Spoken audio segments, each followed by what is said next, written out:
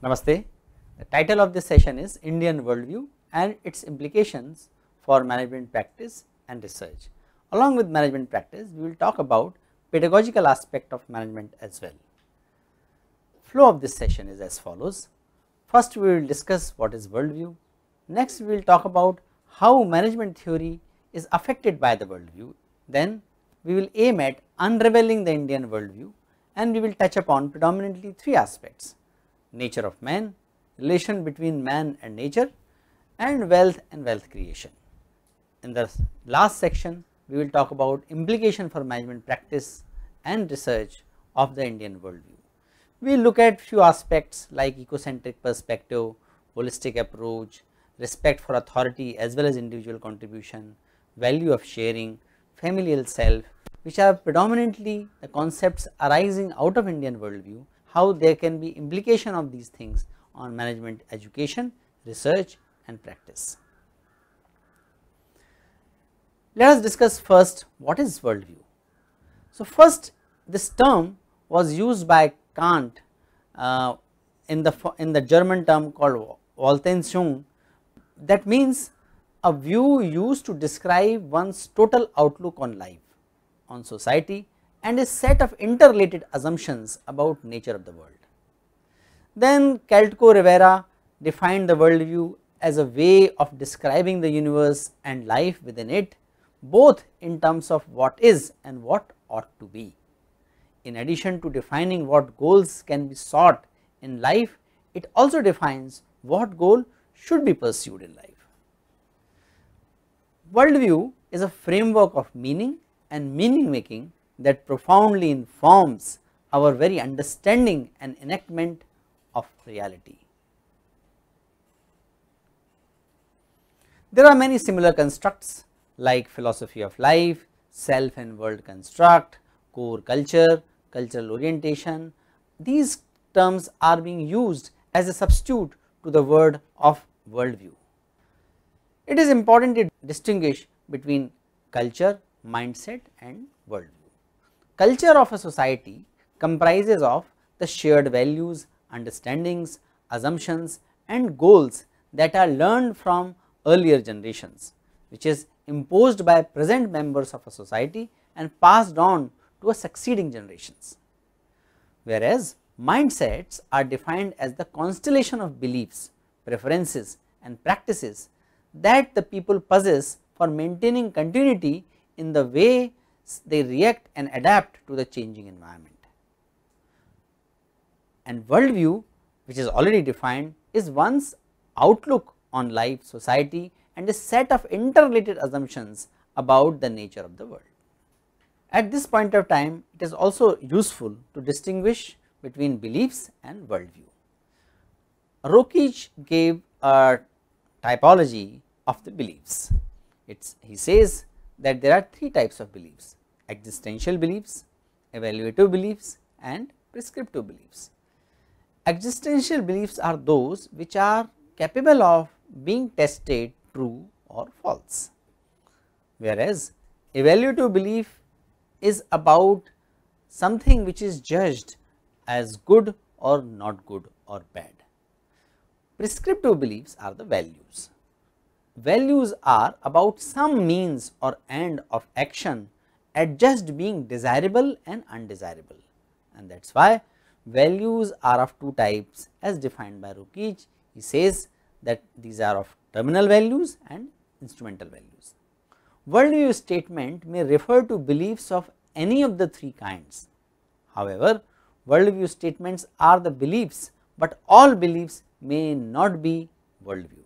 So, worldview as Koltko-Rivera defines are the beliefs regarding the underlying nature of reality, proper social relationship, guidelines for living and existence or non-existence of important entities. Worldview has central role in field of developmental psychology, sports psychology, general counseling and psychotherapy. Its importance in management is also being recognized in many leading journals expressed by many many established and reputed management scholars. I would like, like to quote two of them, Ghoshal, late Professor Sumantra Ghoshal, in his famous paper titled Bad Management Theories are Destroying Good Management Practices, says that by propagating ideologically inspired immoral theories, business schools have actively freed their students from any sense of moral responsibility. So, Ghoshal talks about the worldview and amoral theories arising out of that worldview and its implication on the moral responsibility. Giacalone and Thompson also talked about the worldview being prescribed in the management education and he says that existing organization focused worldview needs to be changed to society centric worldview to make the learning effective in the field of ethics and social responsibility. These are just two quotes out of many which talk about the importance of which indicate the power of the worldview being prescribed in the management theory and its impact on the pedagogy, on uh, learning outcomes, practices and eventually theory building. We in this session are going to talk about Indian worldview. To understand the Indian worldview, I have referred three great scholars. N number 1, Dr. Sarvepalli Radhakrishnan. Dr. Radhakrishnan, the great philosopher, he is universally recognized as modern India's greatest philosopher and interpreter of Indian thoughts. Then I refer writings of Professor S. Abid Hussain. He was the professor of philosophy and literature at Jamia Millia. He was awarded with Padma Bhushan. He was conferred with the Sahitya Akademi Award for the book on national culture of India. Then I am going to refer work of Professor Hajime Nakamura. He was the professor of philosophy at Tokyo Imperial University. He was expert on Sanskrit and Pali. His translations of Indian philosophy in Japanese is uh, still considered the definitive translation to date against which later translations are measured. So, these are the three philosophers whose writing I am going to refer to understand and to decipher what is Indian worldview. We are going to discuss now nature of man as defined in the Indian worldview. So, in Indian worldview the man is not altogether separate and peculiar being, he is part of universal nature. He is a whole or she is a whole carved out of nature's continuum. So, in Indian tradition or Indian wisdom the notion of Brahma, Brahma is not different from true self that is Atman. It is not an alien to the self perhaps the Brahma is the true self. Hussain also indicates that two main characteristics of Indian mind. These characteristics are capacity for contemplation which he says dominates all other mental powers and second thing he talks about is capacity to see and apprehend unity in diversity and that is essentially the characterizing feature of Indian worldview. Nakamura used a very different method. S. Radhakrishnan looked at philosophical text, wisdom traditional like Upanishad, Bhagavad Gita and from there he deciphered the worldview. Dr. Abid Hussain looked at the Indian philosophy, the traditional wisdom text, but he also looked at the history and geography of this country to reach to a conclusion about the Indian culture and about the Indian mind. Nakamura different from other two scholars looked at the Buddhist text which was translated from Pali to Sanskrit and Tibetan and Chinese and the same text is translated bit differently in, in that difference of translation Nakamura identifies the worldview or the mind of that culture.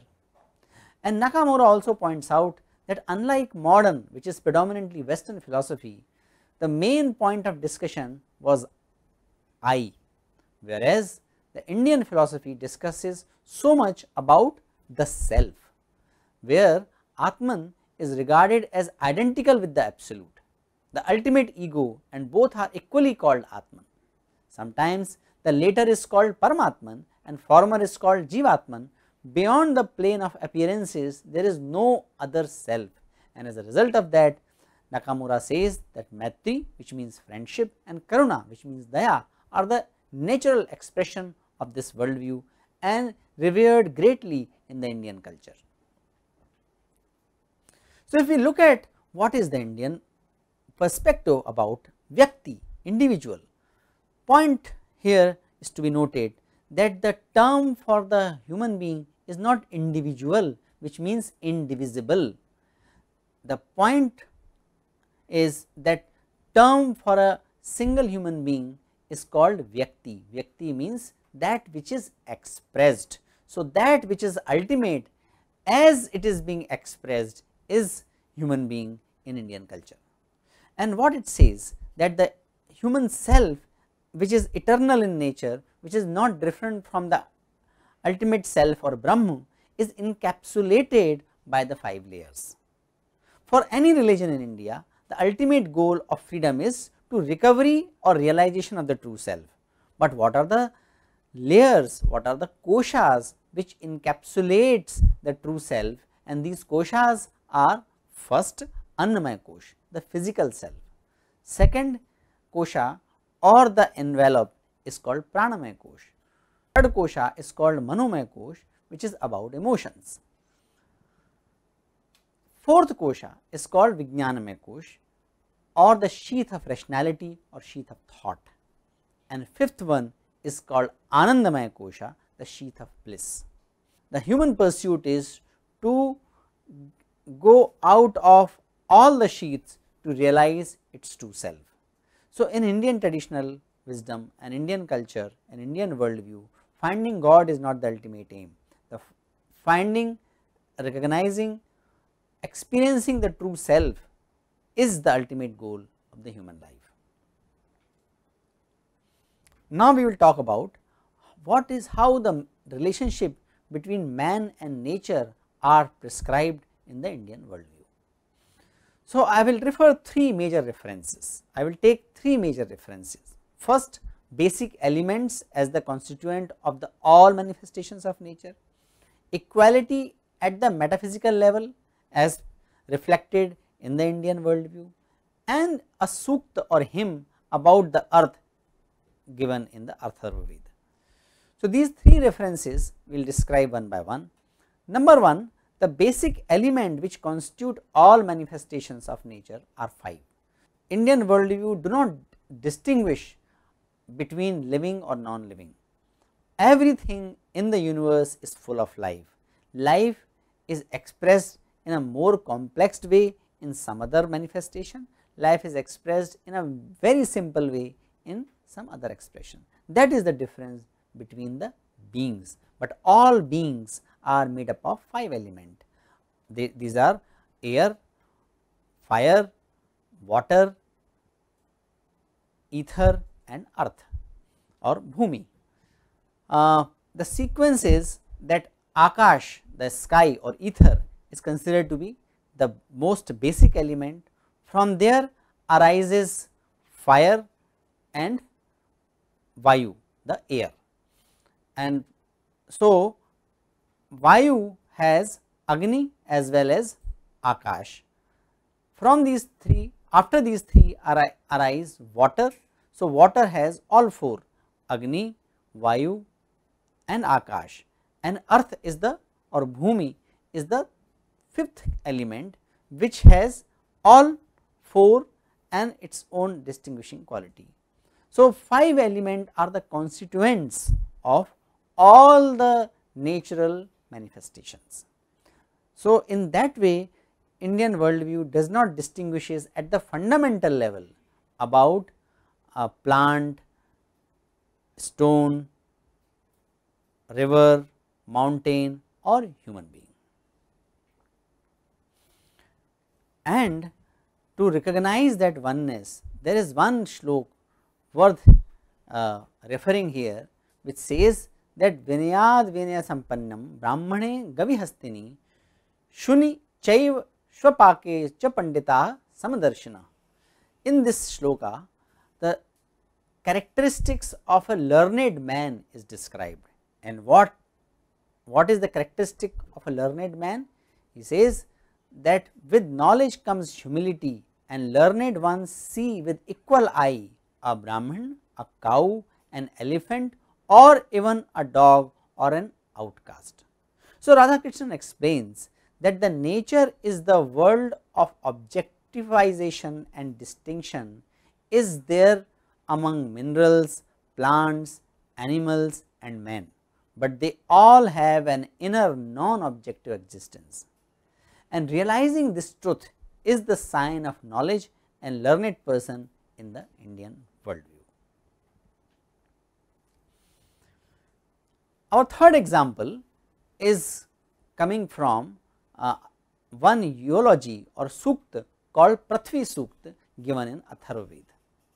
One of the hymns, one of the couplet of the Prithvi Sukta is that Yatte Madhyam Prithvi Yachanabhyam Yasta Urjas Sambhav Sambhavu Tasuno Dheyabhi Na Pavasya Mata Bhumi Putro Ham Prithivya Parjanya Pita Sa U Nah Pipartu that means salutation to the mother earth. On your center madhyam prithvi on your center o mother earth yachanabhyam is your navel. Yast urjastam samba sambabhuvu is your navel from which the vital power emanates and spreads out. Tasuno dheyabhi napavasva absorb us in that power and purity, absorb us in that power and purify us. Mata Bhumi, O Bhumi Mata, O Mother Earth, Putroham Prithivya, I am the son of Mother, I am the I am son of Mother Earth. And Parjanya is considered to be a rain god is my father. May he fill, fill us with vital power in water. So, you can see that in Indian worldview human being and Prithvi have a integrated understanding, have a integrated relationship. We, we originate from this Bhumi, we originate from the Prithvi. So, we are part of the nature as much as other elements of nature are, as much as other manifestations of nature are. And underlying this worldview is what is evident we called unity and diversity. The subjective constant similar subjective substratum underlying the different manifestation, different objective manifestations of the nature. Now, we will talk about what is the work and wealth creation in Indian worldview. To understand the work and wealth creation in Indian worldview, we will take 5 major references. Number 1, we will take the example of 4 Purushartha or as they are called in Mahabharata Chaturvarga. Then we will talk about one, speech, one uh, method or one path of the 4 or 3 predominant paths of the self realization called Karma Yoga and within the Karma Yoga we specifically look at the notion of Swadharma and Lokasangraha.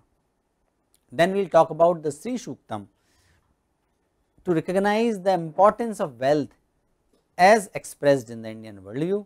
Then we will talk about the notion of Ashtalakshmi and Shubhalabha. So, first example is about the four pursuit of or major purushartha of human life. So, in Indian worldview what is what is understood are the four major objectives of life. These are artha, dharma, kam and moksha. Dharma can be simply defined as righteousness, but it is in a more nuanced way it is defined as that which holds and that which upholds and that which is to be upheld. Dharyet iti dharma and dharayati iti dharma. that which upholds and that which is to be upheld both are the meaning of dharma. Dharma is a dynamic moral ethical principle expressed in the Indian worldview. That is the guiding force, that is the axle on which artha and kama should be pursued in life. Artha simply means materialistic possessions and kama means consumption. So, materialistic possession and consumption should be guided by dharma is the essence of the four predominant pursuits and when this is practiced moksha or liberation is the natural outcome which is the fourth or ultimate pursuit of human life. So, you can look at in the Chaturvarg that Indian worldview does not distinguishes or says that wealth is bad and only dharma is good, material is bad only spiritual is good. This kind of claim is not made in the Indian worldview. In fact, one hymn in Ishopanishad says that those who think that materialistic things, material world is the ultimate thing, is the only reality, they are in the darkness, but those who think only subjective and spiritual world is the reality, they are also equal darkness. Materialistic world and spiritual world are the distinctions of mind. In life, these are not distinguishable, they constitute the one, they constitute the two phases of the same reality. That is why one has to be referred in pursuit of other and that is the reflection of the Indian worldview about wealth and importance of consumption and possessions in human life.